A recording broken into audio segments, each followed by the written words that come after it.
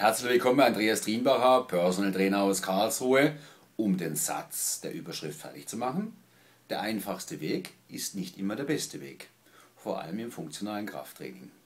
Man kann natürlich jeden, der im, sich im Training befindet, der noch keine Schulung erhalten hat, noch keine sinnvolle Schulung erhalten hat, kann man natürlich in Schutz nehmen, kann sagen, okay, ähm, was, was er da macht, die Bewegungen, was er da vollführt, sind natürlich rein instinktive Bewegungen. Und diese rein instinktive Bewegungen unterliegen natürlich im menschlichen Organismus einem sogenannten Energierechner. Das heißt, dass natürlich der Körper es so steuert, dass er für die Bewegung im Laufe der Zeit immer weniger Energie verbraucht.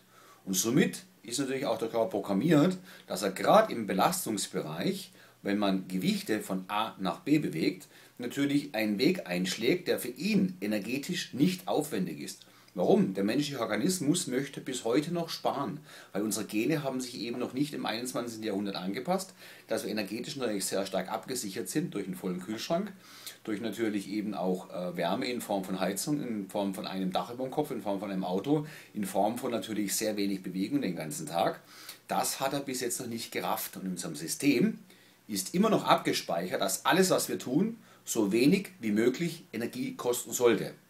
Und das ist tatsächlich dieser innere kleine Schweinehund, der uns zum anderen uns auch daran hindert, energetisch aufwendige Dinge zu tun. Bei manchen Menschen ist er extrem ausgeprägt.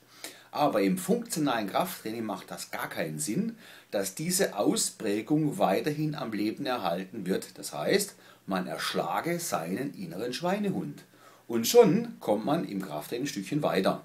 Das bedeutet, ähm, Umkehrschwung, ähm, Schwung überhaupt, verkürzte Bewegungsabläufe, ähm, sehr seltsame Bewegungsabläufe zum Teil, kommen daher, weil natürlich der Organismus sagt, instinktiv, ich möchte das machen, was mich am wenigsten Energie kostet.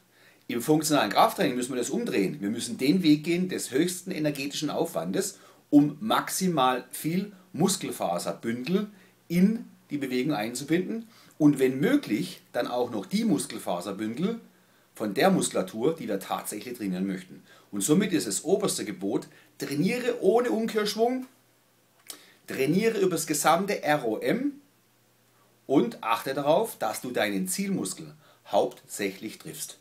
Das war's schon. Andreas Drienbacher, Personal Trainer aus Karlsruhe. Deine Fitness, deine energetisch aufwendigen Bewegungen, meine Aufgabe.